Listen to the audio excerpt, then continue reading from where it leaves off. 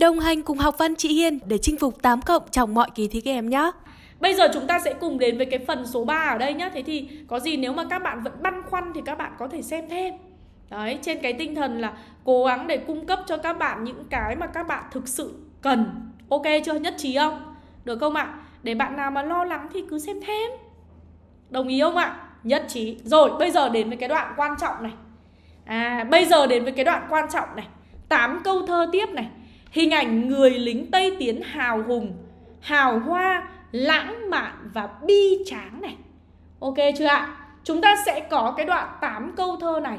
Và cái bố cục chị Hiên chia sẽ là như sau. Đó là bốn câu thơ đầu. 4 Và 4 Ok chưa ạ? À, tay em muốn chuột rút luôn à? Rồi ok. Phần 3 nhá Bắt đầu nhá. Tây tiến đoàn binh không mọc tóc. Tây tiến đoàn binh không mọc tóc. Quân xanh màu lá, Giữ oai hùng. Mắt trừng gửi mộng. Qua biên giới. Đêm mơ Hà Nội, dáng kiều thơm. Ok chưa ạ? Bốn câu thơ đầu tiên nhá. Được chưa? Chúng mình sẽ có bốn câu thơ đầu tiên nhá. Thì ở đây các bạn sẽ chú ý giúp cho chị. Đó là gì ạ?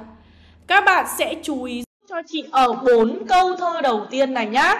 Thì ở trong bốn câu thơ đầu tiên này. À, ở trong bốn câu thơ đầu tiên này Chúng ta sẽ chú ý đến Đây là bốn câu thơ phát họa cho chúng ta về bức chân dung bức chân dung của người lính Tây Tiến. Được không ạ? Bức chân dung của người lính Tây Tiến các bạn nhá. Và bức chân dung này sẽ là bức chân dung ngoại hình với hai câu thơ đầu tiên, tức là ở bên ngoài. Và hai câu thơ tiếp theo là hai câu thơ nói về tâm hồn của người lính Tây Tiến. Được chưa ạ? Ok chưa nào?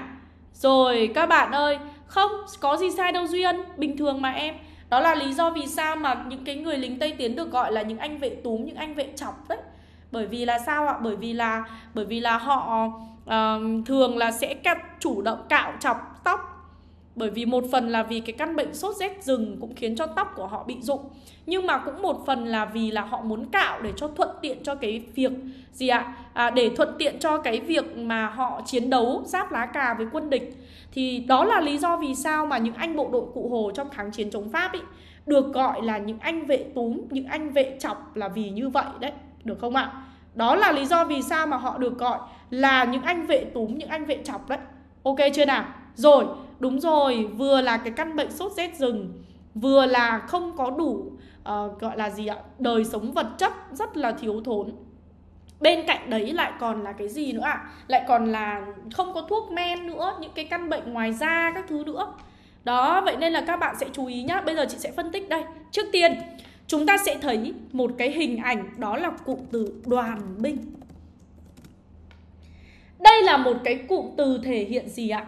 Một cái lực lượng đông đảo. Một lực lượng đông đảo, được không ạ? Với cái đội quân mạnh, được không nào? Và với một cái khí thế hừng hực, đúng không ạ? Một cái cách nói đầy hiên ngang và tự tin. Hiên ngang và tự tin. Các bạn chú ý nhá. Chúng ta thấy rằng là cái hình ảnh của họ này, bên ngoài.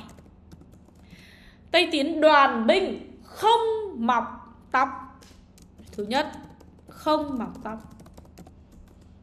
Được không ạ? À? Không mọc tóc, Được không? Thì ở đây chúng mình sẽ chú ý đó là gì? Không mọc tóc ở đây, Đó là do cái hoàn cảnh sống khắc nghiệt và gian khổ của những người lính Tây Tiến Đúng không ạ? Chúng ta có thể thấy rằng là gì? Bởi vì sao ạ?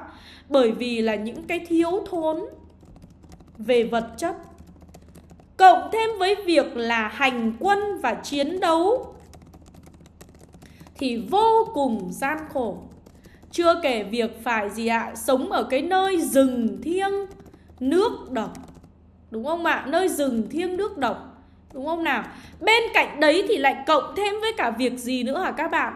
Lại cộng thêm với cái căn bệnh Sốt rét rừng Và những cái căn bệnh ngoài ra và tất cả những cái điều đó đã khiến cho những cái người lính không chỉ bị rụng tóc mà thậm chí còn tóc còn không mọc lại được khi mà nó bị rụng, được không ạ? Thế nhưng hiểu theo một cái trường nghĩa khác thì đó cũng có thể là cái sự chủ động của những chiến binh Tây Tiến. Đó là gì ạ? Đó là họ chủ động, được không nào? Đó là họ chủ động cạo đi mái tóc của mình để thuận tiện cho việc sinh hoạt và chiến đấu. Đó là lý do vì sao nhé mà những người lính ở giai đoạn đầu của cuộc kháng chiến chống Pháp, những anh bộ đội cụ Hồ ấy, thì thường được gọi là những anh vệ túm, những anh vệ chọc. Đó là lý do như thế. Các bạn nhá, hãy chú ý giúp chị. Cái thứ hai, đó là gì ạ? Da xanh màu lá, giữ oai hùm, xanh màu lá à, khi mà chúng ta đọc cái hình ảnh này thì chúng ta có thể thấy rằng là gì ạ? À, có thể là hình dung ra những cái người lính tây tiến mà tiều tụy ốm yếu đúng không? Thế nhưng đó không phải là cái nét nghĩa mà bản thân nhà thơ quang dũng muốn thể hiện. Mà chúng ta có thể thấy rằng là gì nhỉ? À chúng ta có thể thấy rằng là ở đây thì các bạn có thể thấy là gì ạ? À, xanh màu lá ở đây á là muốn nói tới đúng là muốn đặc tả về cái nước da xanh sao của người lính Tây Tiến. Nhưng ở đây lại là xanh màu lá trong cái tâm thế giữ oai hùm. Đúng không ạ? Có nghĩa là gì hả các em? Có nghĩa là gì nhỉ?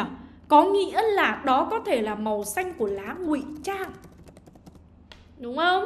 Đó có thể là màu xanh của núi rừng đang bao bọc những cái người lính Tây Tiến trên chặng đường hành quân và chiến đấu. Đúng không ạ? Thế nên chúng ta có thể với những cái nét phác họa bên ngoài này, thì rõ ràng nhà thơ Quang Dũng không hề né tránh hiện thực. Mà trái lại, thì sao ạ? Nhà thơ Quang Dũng đã gì ạ? À không hề né tránh hiện thực, mà đã phát họa hiện thực để cho chúng ta thấy được cái đời sống gian khổ và thiếu thốn của những chiến binh Tây Tiến. Thế nhưng, đó chỉ là bên ngoài thôi còn bên trong thì sao? Bên trong thì họ mang một cái sức mạnh Đó là sức mạnh gì ạ? Đó là sức mạnh giữ oai hùng Các bạn nhé Đó là sức mạnh giữ oai hùng Đó là một cái tinh thần Như thế nào ạ? À, một cái tinh thần vượt lên trên khó khăn vì mục tiêu phía trước Đó là một cái tinh thần, mang một cái tinh thần gì ạ?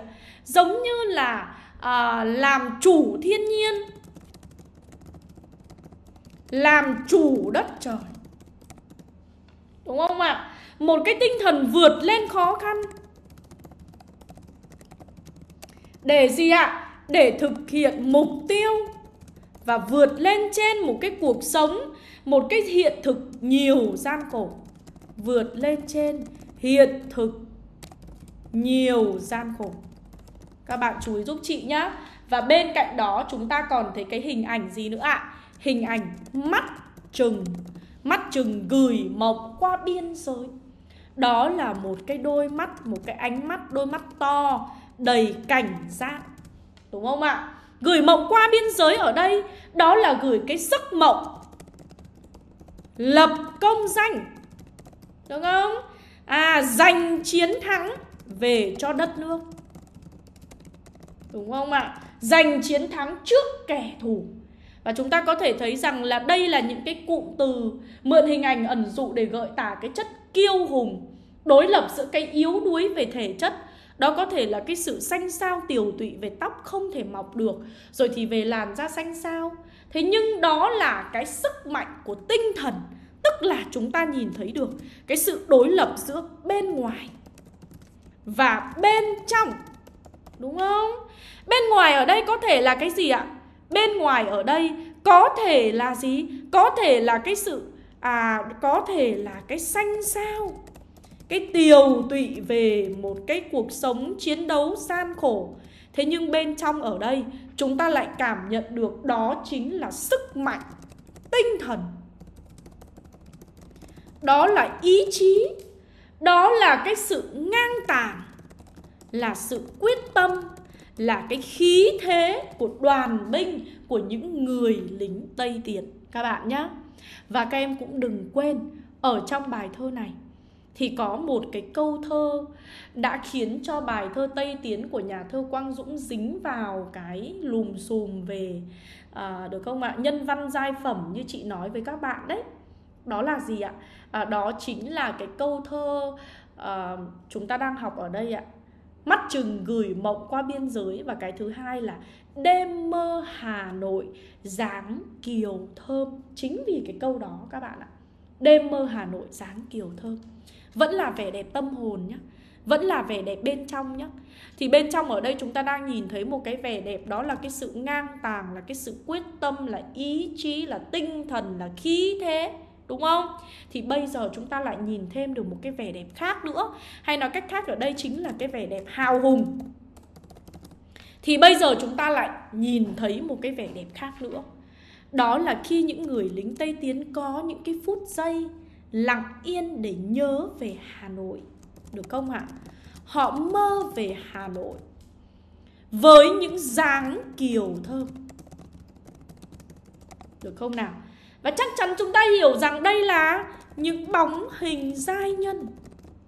Đúng không?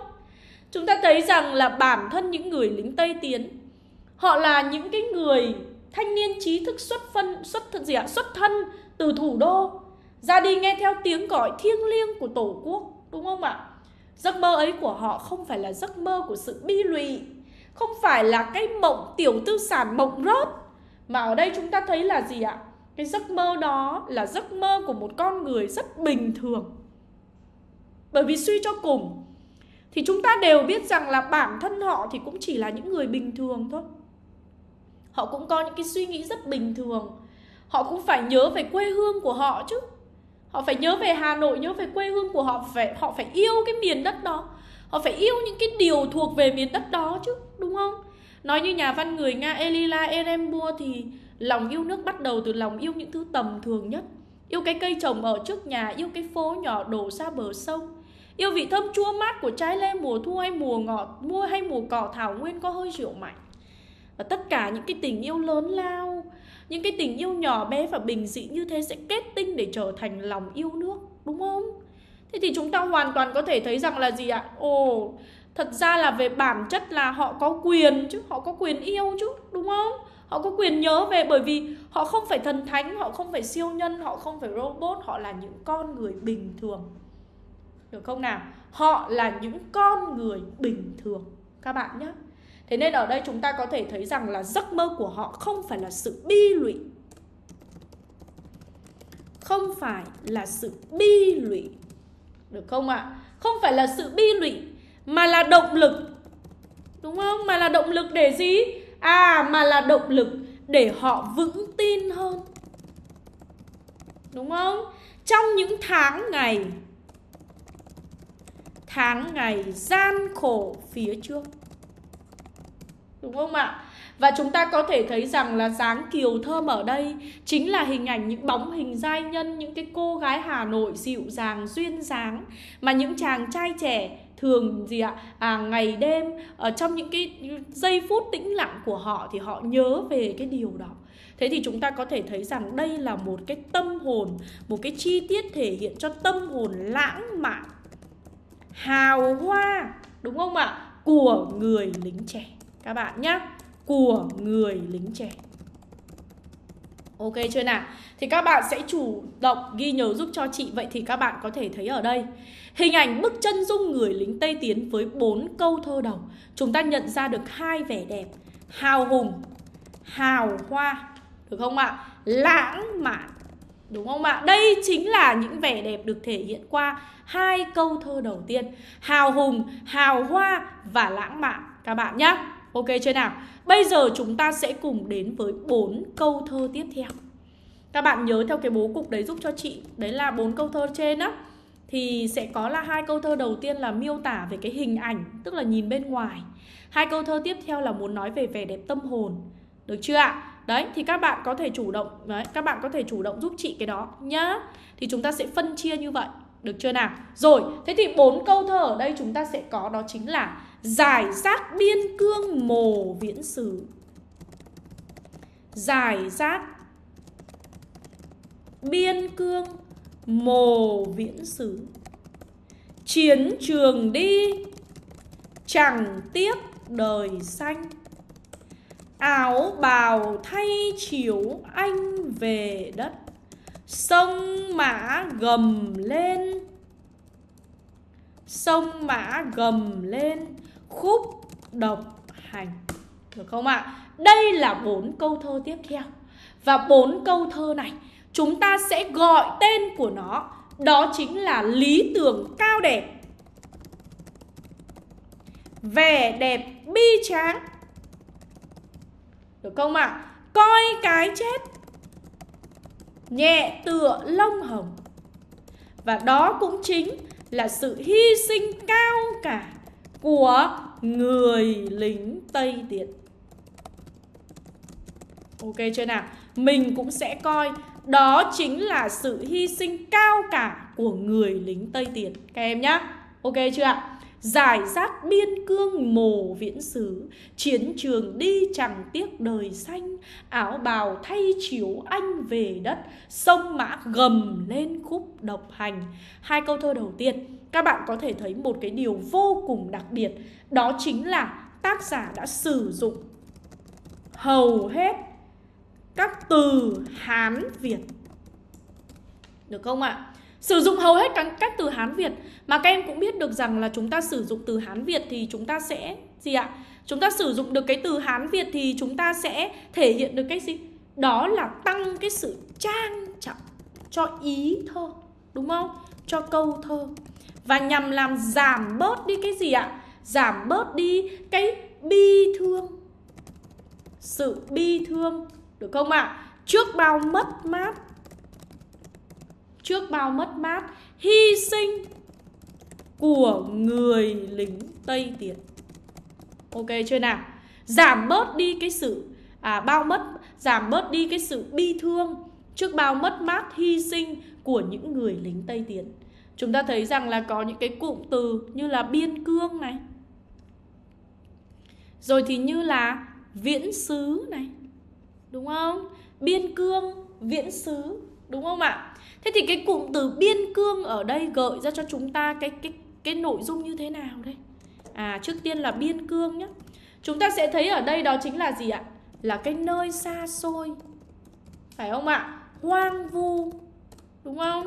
Nơi xa xôi, hoang vu và gì ạ? À tạo ra đó là cái nơi mà uh, người lính đúng không ạ? Đó là cái nơi mà người lính thì uh, sẽ ra trận và chiến đấu ở đó nơi biên cương đúng không ạ? Nơi xa xôi hoang vu. Và chính cái điều đó tạo ra cái cảm giác tạo ra cảm giác tiếc thương. Và không khí như trùng xuống thể hiện cái sự xót xa được không ạ?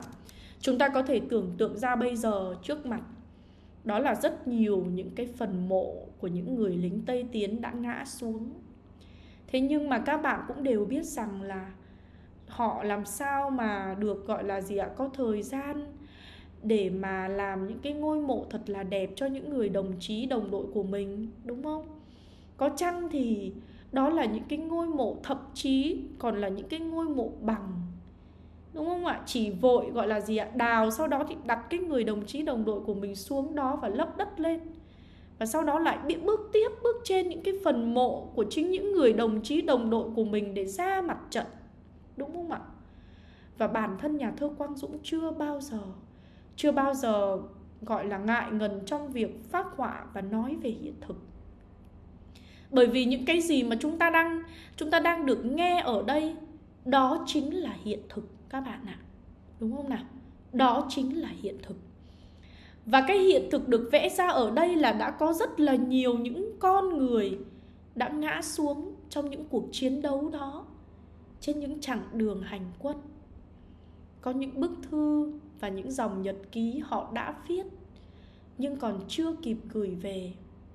Để rồi sau biết bao nhiêu năm nữa đi qua, đúng không? Sau biết bao nhiêu năm nữa đi qua thì người ta mới lại được, người nhà mới lại được đọc lại những cái dòng nhật ký của những người thân trong gia đình của mình. Những người con, họ đã dũng cảm, đúng không ạ? Họ đã dũng cảm để tiến về chiến trường. Họ đã dũng cảm để có thể mang trong mình một cái ước nguyện là giành lại độc lập tự do cho tổ quốc, cho dân tộc. Và chúng ta có thể thấy rằng là chị vô cùng vô cùng ấn tượng với những cái câu thơ của tác giả Tạ Hữu Yên. Đó là gì ạ? Đất nước tôi thon thả giọt đàn bầu, nghe dịu nỗi đau của mẹ. Ba lần tiễn con đi, hai lần khóc thầm lặng lẽ. Các anh không về, mình mẹ lặng im. Được không ạ? Các anh không về, mình mẹ lặng im. Và chúng ta có thể thấy rằng là gì? Chúng ta có thể thấy rằng là là đúng là ba lần tiễn con đi, hai lần khóc thầm lặng lẽ. Các anh không về mình mẹ lặng im. Và chúng ta có thể thấy trong những cái dòng nhật ký mà những cái người gì ạ, những cái người chiến sĩ, họ đã để lại, đúng không? Họ đã để lại. Thì đến bây giờ chúng ta vẫn đang cảm thấy được một cái điều gì đó nó nó sụp sôi vô cùng các bạn ạ. Chúng ta vẫn thấy được những cái điều gì đó sụp sôi vô cùng trong những cái trang viết ấy trong những cái dòng viết ấy. Và nếu như có thể thì chị cũng mong rằng uh, các em cũng có thể chủ động tìm đọc thêm những cái dòng nhật ký của những người liệt sĩ. Họ đã sống và chết giản dị và bình tâm. Không ai nhớ mặt đặt tên nhưng chính họ là những người làm ra đất nước được không nào? Hãy chú ý giúp chị nhé thì ở đây chúng ta có thể thấy rằng là cái cụm từ biên cương ở đây và đặc biệt là viễn xứ. Mồ viễn xứ. Mồ viễn xứ. Được không ạ? Đó là gì ạ? Là những nấm mồ. Là những nấm mồ. Là những nấm mồ. À, ở những nơi xa vắng ở những nơi xa vắng. Hoang lạnh được không ạ? Và họ trở về với đất mẹ trong cái hình hài nguyên sơ nhất. Thế nhưng quang dũng lại gọi bằng một cái cụm từ đó là áo bào. Áo bào là gì ạ? Áo bào là chiếc áo lính.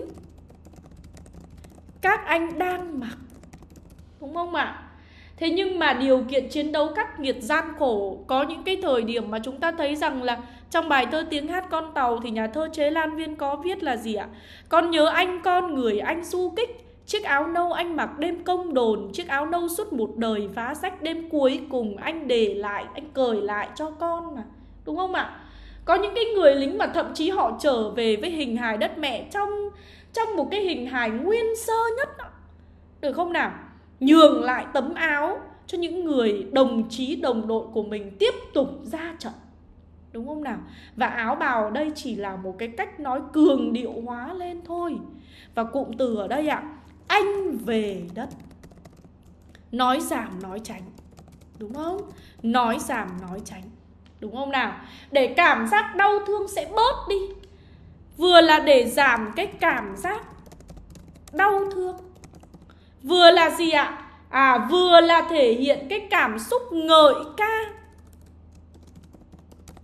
Ngợi ca, trân trọng cái sự hy sinh của những người lính. Đúng không ạ? Sự hy sinh của những người lính. Đúng chưa nào? Và chúng ta thấy rằng bên cạnh đó đó là một cái từ dài rác. Tức là gì? Tức là cái số lượng gian trải trên một khoảng không gian đúng không? Không tập trung nhất định. Không tập trung nhất định. Đúng không ạ? Và chúng ta có thể thấy rằng đó là hình ảnh của những ngôi mộ đấy, như chị đã nói. Và ở đây, chúng ta thấy bản thân nhà thơ Quang Dũng không hề che giấu đi cái hiện thực đó. Đúng không ạ? Bản thân nhà thơ Quang Dũng không hề che giấu đi cái hiện thực đó. Các bạn sẽ chú ý giúp cho chị là như vậy nhé Thế nhưng các em có biết không Những người lính đó họ ra đi Với một cái tâm thế như thế nào ạ À Chúng tôi đã đi không tiếc đời mình Những tuổi 20 làm sao không tiếc Nhưng ai cũng tiếc tuổi 20 thì còn chi tổ quốc Thì ở đây Quang Dũng lại viết là gì? À, Quang Dũng lại viết câu thơ là gì ạ? À, chiến trường đi chẳng tiếc đời xanh Đúng không ạ? Chúng ta thấy được cái sự đối lập ở đây nhá. Chúng ta thấy được cái sự đối lập ở trong câu thơ này. À, chiến trường là nơi gắn liền với mưa bom, bão đạn Với cái chết cận kề. Còn đời xanh ở đây là nói về tuổi trẻ, tương lai, hy vọng. Đúng không ạ? Tuổi trẻ, tương lai, hy vọng.